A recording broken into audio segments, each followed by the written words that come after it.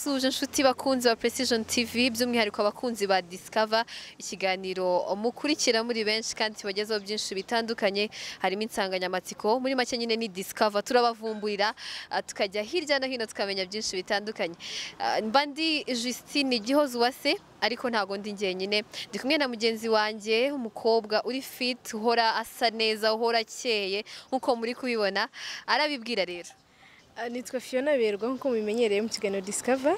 Ah, tugirana tukaganira ku bintu byinshi bitandukanye ku nsanganyamatsiko nyinshi zitandukanye ndetse tukarushaho gucukumbura ibintu byinshi bitandukanye tukabibasangiza. Uyu munsi rero tukaba dufite topic turi buganireho. Ni topic abantu benshi bakunda topic urubyiruko rukunda.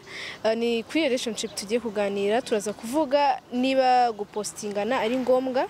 Ese wowe ku bwawe ni ngombwa Justine? Wenda kuba tumva n'ururimi rw'icyongereza iyo bavuze relationship bavuga kuba mu rukundo ushobora kuba uri urubyiruko abajene batandukanye bakunda barakundana kame bitewe n'imyaka.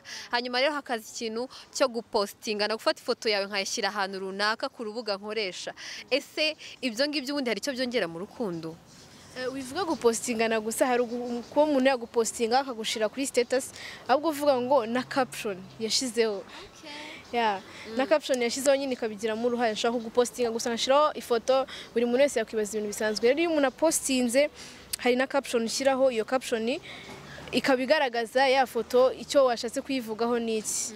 Ibyo rero byo tugiye kuganiraho turaza kwegera abajene batandukanye. Twaganiriye n'aba- n'urubyiruko abanyeshuri bo muri IPRC Kigali batubwira baduha ibitekerezo byabo bitandukanye kuri iyo nsanganyamatsiko. Cyane ko bamwe barabyemeje baravuga ati gupostingana ni ngombwa. Ati ngewe utanampostinze byaba ari ikibazo. Ariko abandi nabo babasha kuba babihakana bavuga ati gupostingana nge ndumva atari byo bigaragaza ko waba unkunda.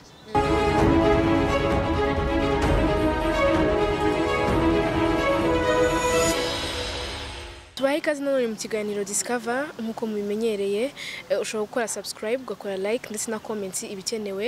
Eh, nk'uko twari tumaze kubibabwira tugiye kuganira n'uru rubyiruko tugiye kuganira kuri topic kuri relationship twari tumaze kubivuga. Reka mpere eh, ruguru yanjye atwibwira. Murakoze nitwa shumbusho emmanuel. Nkaba niga muri IPRC mu wa gatatu. Urakoze cyane? Nanjye nitwa nowa turigana mu wa gatatu muri PRC ndakeka mwese hano nta kibazo muri bubigireho cyane ko muri n'urubyiruko rwiga muri kaminuza. Ah, tugiye kuganira kuri kuri topic igira iti ese gupostingana mukundana muri relationship ni ngombwa cyangwa si ngombwa? Urambwira kuri we niba ari ngombwa cyangwa se niba atari ngombwa. Ya, kuri njyewe mba numva gupostinga ntabwo ari ngombwa cyane. Ya, cyane ko umuntu ashobora gupostinga ubu ngubu ibintu bi- byaroroshye ushobora gupostinga umuntu ugahidinga nimba contact ugasigaho iyiwe akaba ari we uyibona gusa akibwira ko eh, mubirimo neza kandi atari ko bimeze. Rero ndi kumva njye numva urukundo ruri mu mutima ntabwo ruri mu postingana. Urakoze cyane. Nowa nawe watubwira uko ubyumva? Ah, njyewe ko mbyumva ni ukuvuga ngo gupostingana ntabwo ari cyerekana ko ukunda umuntu. Ariko nanone ku bantu babishaka gupostingana nanone bijya biba byiza kuko iyo ukunda umuntu bya nyabyo bisaba ko n'aba- n'abavandimwe bawe bagomba kuba babizi babibona ukabyereka nyine abantu kugira ngo iyo ari ibya nyabyo pe. Numva- nyine nowa ubwo ugiye kutubwira neza muri make ndumva ushaka kuvuga ko gupostingana ari ngombwa. Eh, bisa nkaho ari ngombwa rimwe na rimwe kuko ubukene nyine iyo ukundana n'umuntu ni ngombwa ko bagenzi banjye babimenya sibyo? Hazajya n'undi unca inyuma gutya na gutya baba babizi atari ibyo guhishanya nyine ibya nyabyo iyo utamutendeka cyangwa ngo umuce inyuma kumupositinga ntacyo bitwaye gusa nanone ntabwo byahamya ko ari cyo gituma cyerekana ko umukunda cyane. Eh, hari abantu babyumva uko nguko bumva ko ugomba kumupostinga uyu munsi niba hari post washyizeho kuri status cyangwa se n'ahandi hantu ariho hose ku mbuga nkoranyambaga ushobora kuba ukoresha akumva ko ugomba kumushyiraho kandi ugashyiraho na caption nziza. Wenda buri munsi ese wowe ibyo ngibyo na byo waba ubishyigikiye? Nanone iyo hajemo gushyira ku muntu gushyira pressure ku muntu ntabwo biba ari sawa kuko ushobora kumushyira kuri pressure we atabi- atabishaka atabyumvamo. Akaba yagushyiraho byo bya nyarureshwa nyine agahidinga abandi bose akaba ari wowe ye- ayereka gusa. Ukagira ngo bose babibonye kandi ari wowe wenyine wabibonye ese wamenya gute ko yagupostinze abimininga nyine yagupostinze bimurimo ni ibintu bimuvamo utabimutegetse Eh, kuko iyo yabyikuyemo akavuga ati ngenda mupostinze ntabwo yaguha- yahidinga abandi kugira ngo abikwereke gutyo gusa. Eka njye rwose dutangiye nakubwiye ko gupostingana njye mbona numva atari ngombwa. Umuntu mukundana aradukurikiye. Yego. Ari kubyumva nawe. Yego. kuko kugupositinga ah ah nimba ari ukugira ngo babone ko ndi proud yiwe ahubwo ntabwo ari nagenda ngombwa cyane bishatse kuvuga iki. Ntabwo ari ngombwa cyane. Reka niba ngusanga ariko cyane. ntibibeho cyane. Burya kubaho mvu- ntago mbirwanyije burundu. Ariko ntago mbona njye atari ngombwa. Nimba nshaka ko abandi bamubona ndatumira inshuti zanjye mbamwereke mbabwire nishiri wanjye. Hano hose nimba numva kuko ndi proud yiwe ngomba no kumujyana nawe arabizi. Yeah. ntago guposta ntago ari ngombwa cyane. Ubundi se uramufite ya ndamufite. By'umwihariko ku rubyiruko wenda tugende kuri ino topic cyane ni uko uko numva umbyumva urukundo si ikintu cyo guhisha. Kandi nanone si ikintu nanone cyo cyo kuvuga ngo cyo ku rubuga nkoranyambaga ngo ni ho hagaragarira urukundo cyane sibyo? Niba ukunda umuntu by'ukuri nyine mukorere ibyiza nyine ko mwabyumvikanye apana gushyira umuntu kuri pressure iki? Yanjye ubutumwa nagenera urubyiruko gukundana ni byiza kandi burya n'imana muri biriya biranditse imana yarabivuze ariko bindi ubusambanyi. Bindi sida. Birinde kuko hari impamvu mbivuze. Hari abantu bajya bitiranya urukundo n'ibindi urukundo burya ntago ruba rugendeye cyane mu kuba mwaryamana n'iki babyirinde rero ntabwo ibyiza mu rukundo. Byirinde ego. Eh, nibutsa abantu mudukurikiranye yuko mukurikiranye Precision TV ni ikiganiro Discover.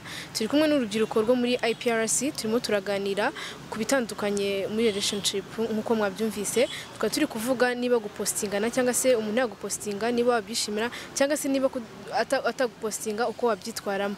Rero mwumvishe ibitekerezo batanze bagenzi banjye mwumvishe n'ubutumwa babageneye.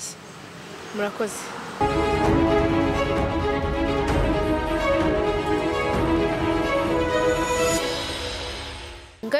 Murabyiboneye ibyo twaganiye n'abajene batandukanye n'icyo bagiye bavuga kuri iriya nsanganyamatsiko.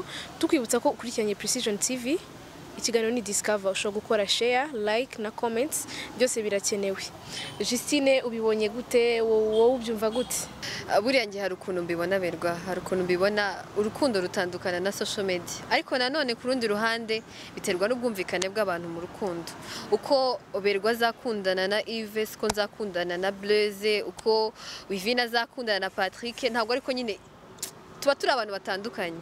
Hanyuma rero njye kuba wampostinga si cyo kingaragariza ko nkunda kuko ushobora no guhayidinga abantu bose nkaba ari njye njyenyine ubibona sibyo ariko ku rundi ruhande urukundo ni ibikorwa urukundo si si uko kumpostinga si nuko ndabivuga ku giti cyanjye atagira unyumva nabi eh, ni ku giti cyanjye. Ariko ibintu byose ni ubwumvikane kwanza ni cyo kintu cya mbere wumvikane n'uwo mukundana. Niba mwumvikanye gupostingana it's fine. Ariko kandi niba wumva sinzi ko ari ngombwa cyane. Ntabwo numva ari ngombwa cyane kuri njyewe. Uh, Justine bariya bajene twaganiriye wumvise bavuga bamwe bagiye ba- babigarukaho bavuga ko ugomba kugaragariza ugomba kugaragariza iki inshuti zawe. Umukunzi wawe. inshuti zawe mu kumugaragariza rero ngo hari uburyo bwinshi. Urumva? Ubwo buryo na social media zikaba zigomba gukina kugira aho zibigiramo. Ntabwo wahamagara abantu bose ngo ubicaze ahantu ubabwire ati uyu nguyu ni we nakunze ni we girlfriend wanjye ni we boyfriend wanjye. Na, whatsapp birakenewe na facebook na instagram irakenewe kugira ngo u- umugaragarize abana. Sasa rero hari ibintu nyine mba mbona n'ubundi. Sinzi ukuntu nabyita. Ntago ntago ari ntago ari ngombwa ko nyine mugeraho mupfa ibyo bintu. Ngo ntago ajya mpostinga ngo buriya ngo ntago ari proud yanjye. Siko bavugaga? Ariko njye uko mbyumva ku giti cyanjye. Nshobora kukwereka erega nike nshobora no kukubwira ko ngukunda ntagukunda. Nshobora no kugupostinga ari uko bitandimo. Nyine kubera igitutu wanshyizeho. Ukambwira eh ntabwo umpostinga navuga ni umukobwa noneho. Cyangwa se uyu musore arimo ara arabigira intambara. Reka mbikore byo kumwikiza. Nkabikora atari uko bindimo. So njye numvaga bakwiye gukora ibintu kuko bibarimo kandi ikigaragaza ko umuntu akundana n'undi ni mariage. Kumbwira ngo ndi bukwereke inshuti zanjye sibyo? Ndazikwereka yes ariko finally bizavamo iki? Ahubwo bakundana urukundo rufite intego bareke kwita kuri ibyo byo gupostingana n'ibindi byose. Nicyo kintu cya mbere. Nawe ndumva ufite ibibazo byinshi nakubaza ariko reka tubireke dusoza. Reka dufate umwanzuro.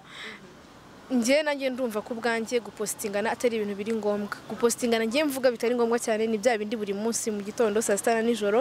Caption honey darling. N'utundi tuntu twinshi muratuzi mwe mujye mudupositinga uretse ukiri aho ngaho ndasa nk'ukunganira. Umunyarwanda yaravuze ngo abatazi iby'urukundo bavuga abo bihebeye. Urumva? Uwanjye sinteze kumuvuga nzamutsinda nk'abakuru. Abakuru ntibabipositinga ntibabi eh?